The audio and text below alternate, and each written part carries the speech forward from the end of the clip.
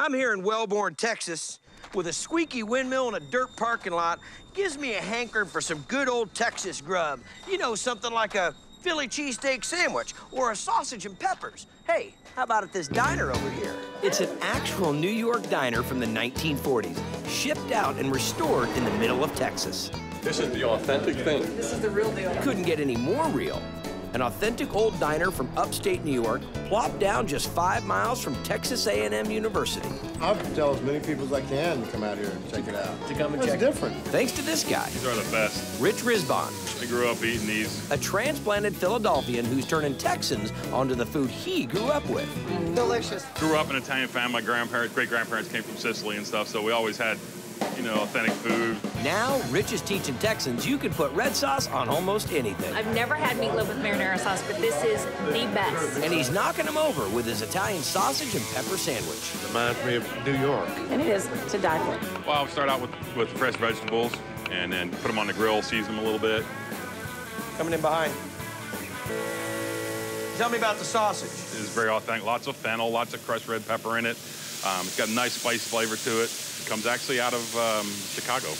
Chicago style sausage, or Oh, it's it's actually from Chicago. So what do you have, like a cousin that flies in on a weekly basis? they got a few. They got a few Italians there too. So that's working right next to the peppers and onions, and then some of the some of the rendering down, some of the fat coming off of the sausage helps get into the flavors of the peppers more- and onions. Gives it more flavor. Right on top of it. A little provolone, A little smoked provolone. smoked provolone. Smoked provolone. Smoked provolone. Gives a little extra more flavor. Wow. So where do the rolls come from? Uh, those actually come out of New Jersey. You know, We you are great pains supposed you are too. supposed to buy things in the state in which you're. We do. We get our tomatoes from here. I'm gonna burn my mouth. I can already tell, but I'm such a junkie for it.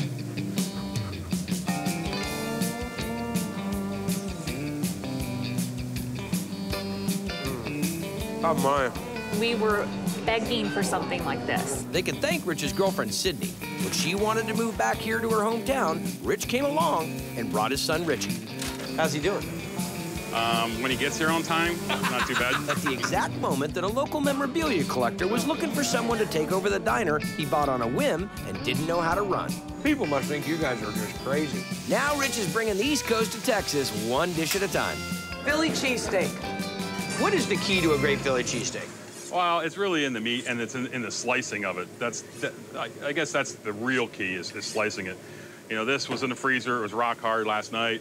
Kind of slack it out for six or eight hours. Slack it out. Slack it out. So it gets That's a that's a little Philly cheesesteak pro term. A little soft on the outside, but it's, the core is still still pretty solid.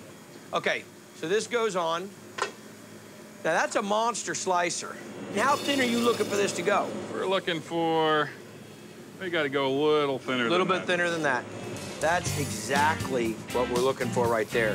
There's where the uh, flat spatula comes into play. He's bringing a spatula out of retirement for me.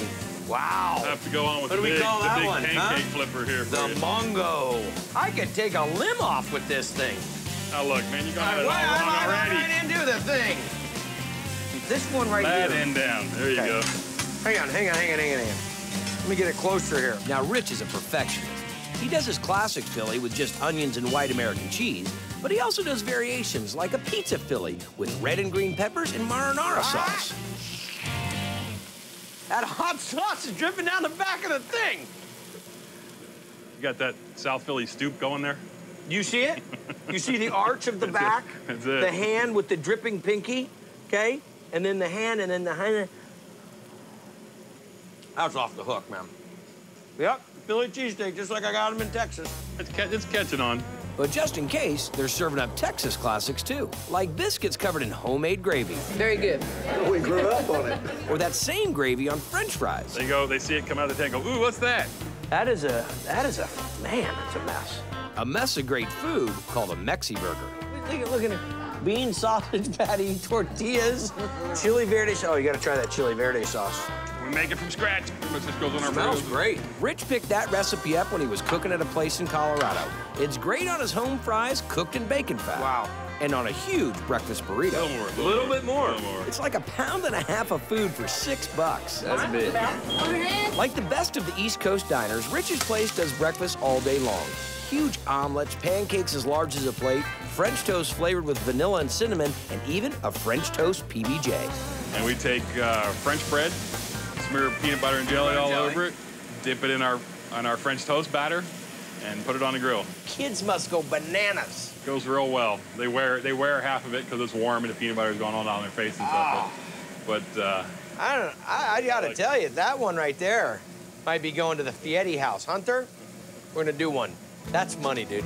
Right along, First Billy. For Rich, job one's the Italian stuff, the Philly food, something special he brought from home. I grew up with, you know, hold my great grandmother's apron.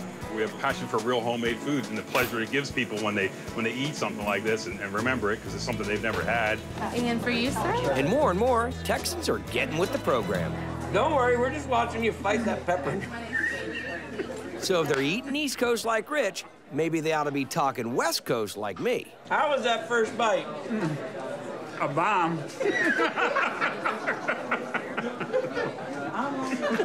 Rusty, it's not a bomb, it's the bomb.